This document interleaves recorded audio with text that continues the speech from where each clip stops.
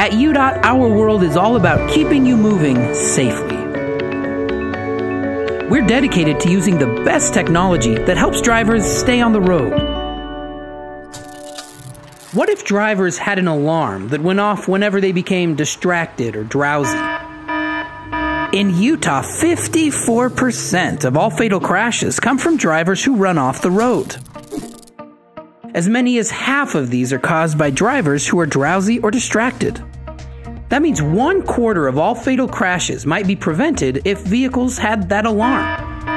The sound and vibration from rumble strips act like an alarm for distracted drivers. Rumble strips are placed in the middle and at the edges of a road. Rumble strips are especially important on lengthy, remote roads where drivers can easily lose focus.